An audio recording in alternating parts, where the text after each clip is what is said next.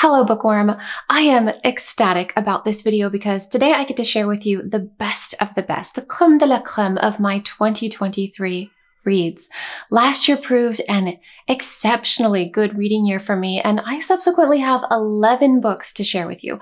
11 books that will escort you from glittering dark forests to the furthest reaches of space. Books that will make you laugh, or rend your heart, books with characters you'll hope never to see again, and others you'll wish could stay with you forever. The book that ranks number one on this list took me completely by surprise and knocked into second place a book I was certain would be my number one read of the year. I can't wait to tell you about it and the rest of these marvelous books, so let's get started. Beginning with The King of Elfland's Daughter by Lord Dunsany, a work of classic fantasy that inspired many authors of fantasy and science fiction, including H.P. Lovecraft, Gene Wolfe, and Michael Moorcock, among others. It's even rumored that this book inspired Tolkien. And when I tell you what it's about, I think you'll understand why. The book opens on a darkening valley where a young man named Alveric is on his way to a cottage on the high heaths where there lives a witch. He needs her help in crafting a sword that can parry the unearthly dangers found in Elfland, where he'll soon journey to wed the King of Elfland's daughter, Lyrazel. After Lyrazel leaves Elfland behind and marries the mortal man Alveric, she finds herself torn between returning to her homeland to live forever among her people, or remaining among humans with her husband and son, where she's doomed to die a mortal death. Sound familiar? This is the story of a woman grappling with her identity and wrestling with a decision that has monumental consequences. But it's also a fun story about a young man evading trolls and hunting unicorns, and a witch who gathers thunderbolts from the sky, merges them into runes, and uses them to craft weapons. It's a well balanced, incredible tale about the perils of bringing magic into the real world, and it's written in a gorgeous poetic style. If you're a fan of Tolkien, or you want to get lost in a strange woodland where the air is luminous, the vines are sentient, and in the distance there glitter the towers of an elf king's palace, be sure to check this one out. Next up is Orbital by Samantha Harvey, a slender, unassuming book that punctuated my year-end reading with a profound exclamation point. It records just one day in the life of six astronauts who are orbiting the Earth.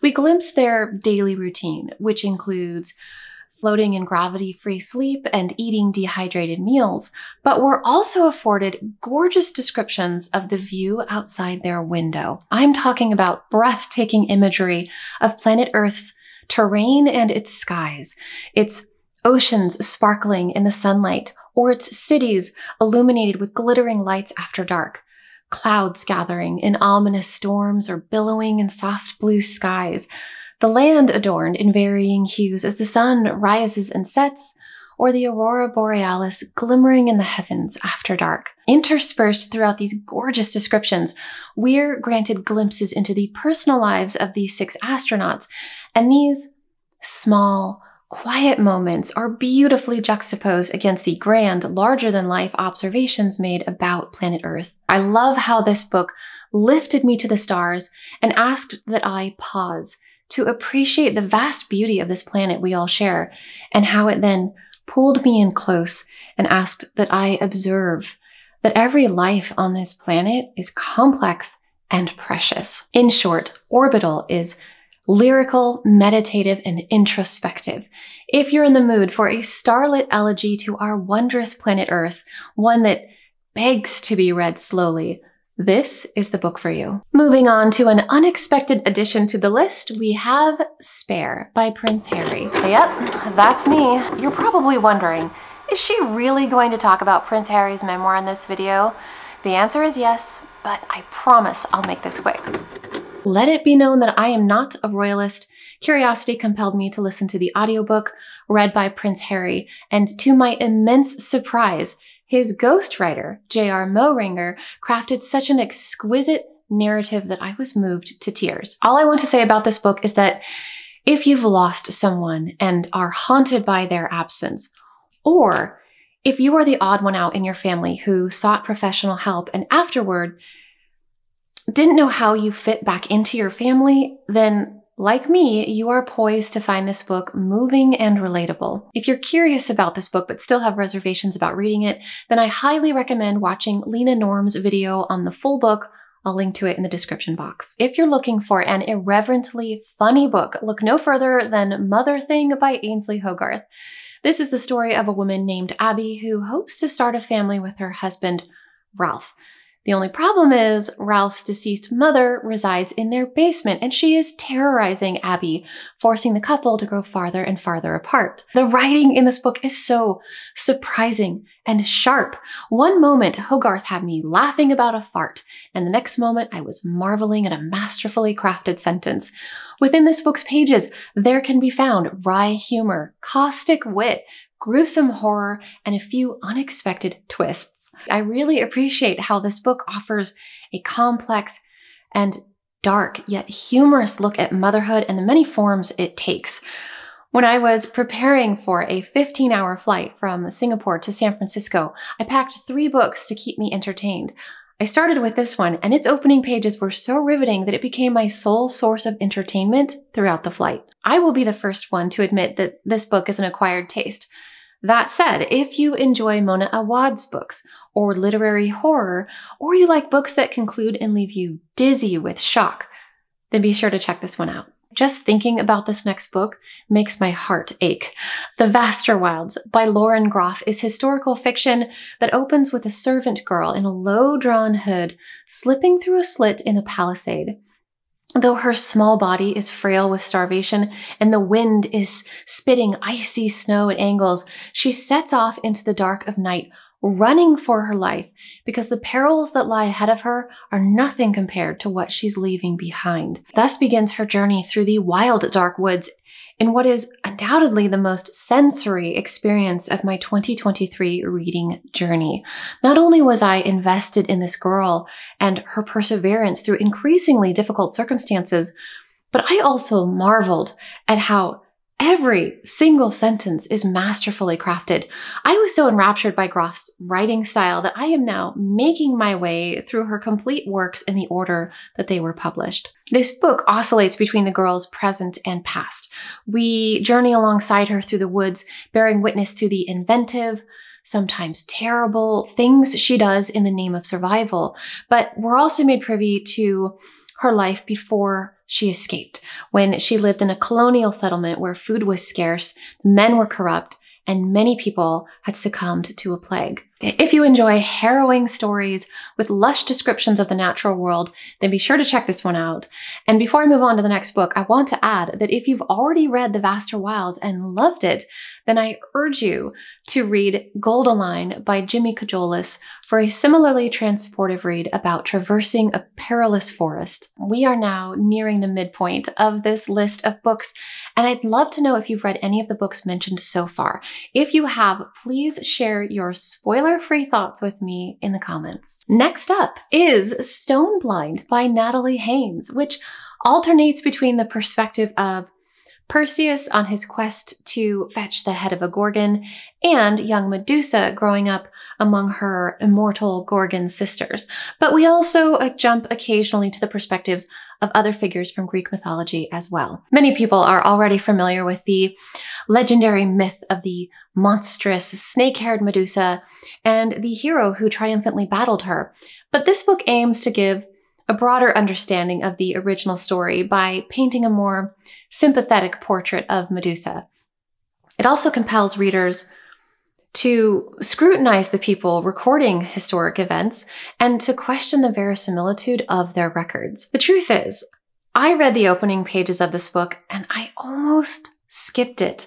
But then I decided to give the audiobook a try and I am so glad I did. It's narrated by the author Natalie Haynes, and she brings such life to the characters and humor to the dialogue that I was instantly hooked. If you are in the mood for a sentimental, nuanced retelling of Greek mythology that has a dash of humor, then this is the book for you. Moving on to The Bandit Queens by Parini Shroff, also known as the darkly comedic feminist thriller that we all know should have been on the 2023 Women's Prize for Fiction shortlist.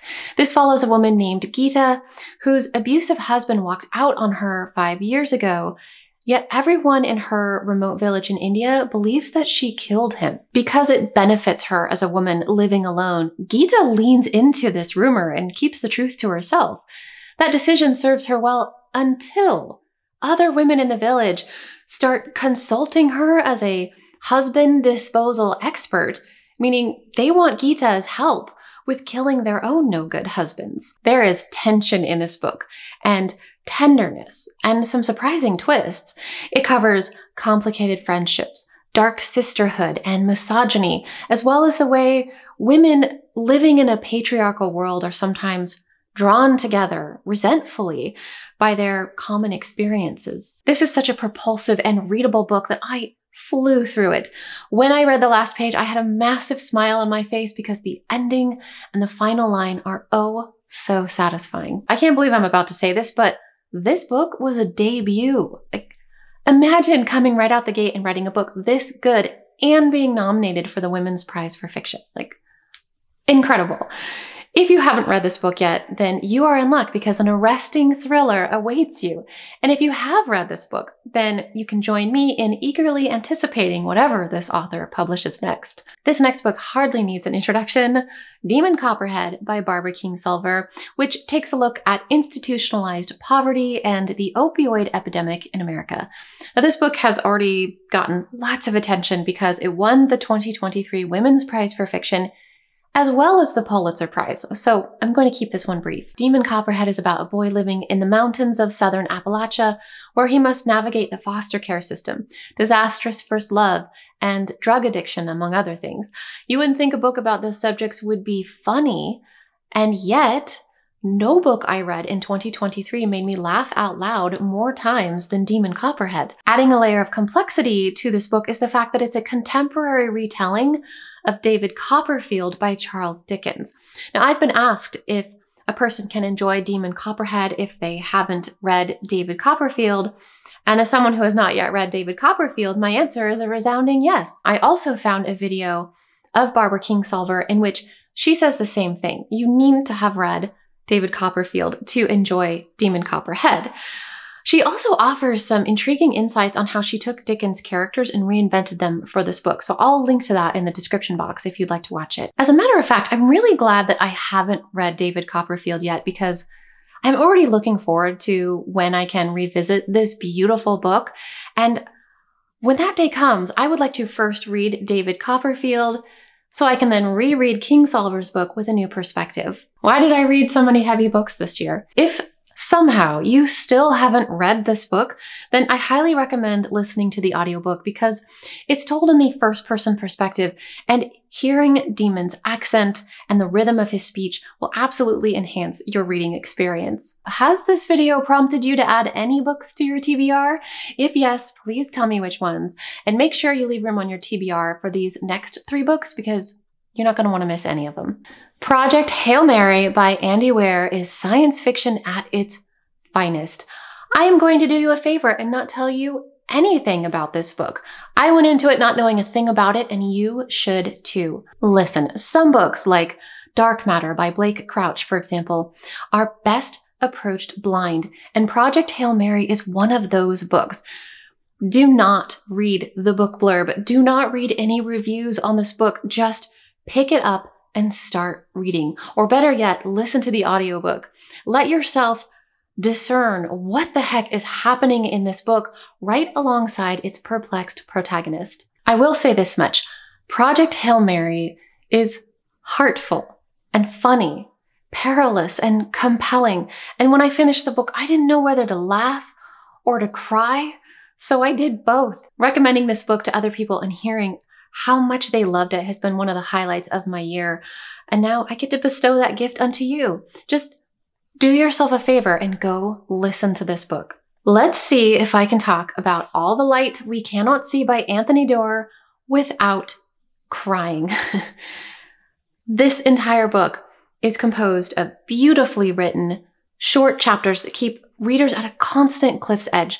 And when I finish reading it, just to say that this book wrecked me is a massive understatement. When I finished reading this book, I had tears streaming down my cheeks. The story is set primarily between the years 1934 and 1944, and it follows a blind teenage girl in Nazi occupied France who's making illegal radio broadcasts, and a brilliant German boy who is enlisted by the Nazis to track down the girl and stop her from making broadcasts. I've seen some reviewers call this book World War II Light, and I confess there were times when I felt that way myself.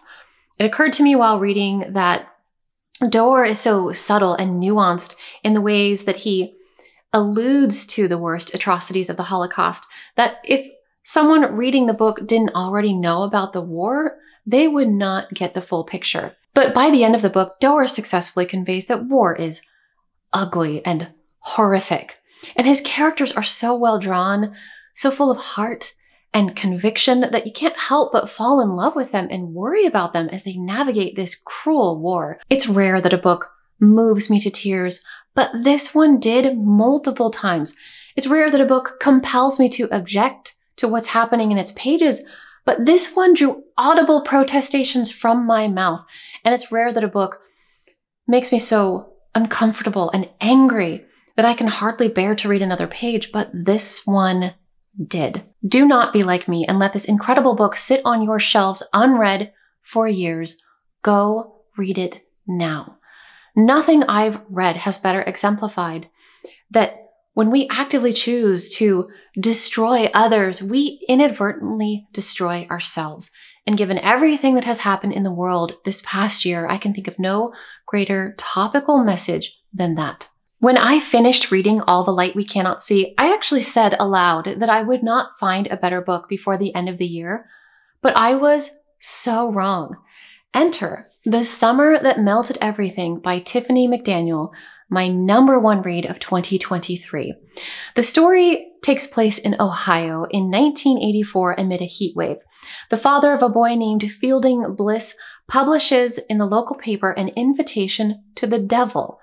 And before long, a 13 year old boy arrives claiming he is the Prince of Darkness.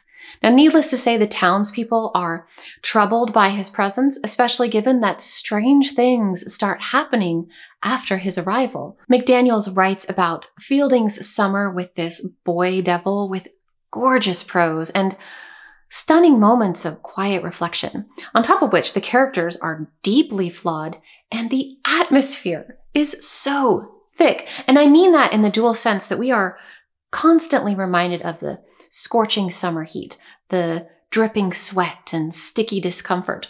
But we're also constantly on a razor's edge. The mounting tension in this book is unrelenting. Couple that with all of the strange happenstance and subtle uncertainty and the clever ways that McDaniels had me constantly questioning what is fact and what is fiction, what is happening and what is going to happen. And the result is a book that held me like a moth to a flame. When I tell you that the ending is explosive, when I tell you that there were times I wanted to look away, but I couldn't. When I tell you that this book held me fast and would not let me go, I mean it in a way that I never have before. By the time I finished this book, I was breathless and shaken, and I really, really needed a hug.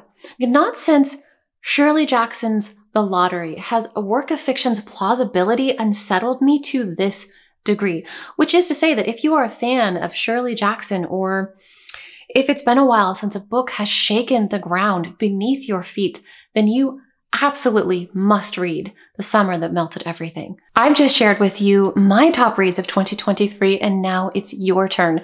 Please tell me what books were the highlights of your reading last year. Also, based on the books I shared in today's video, if you have any recommendations for me, please tell me in the comments what they are.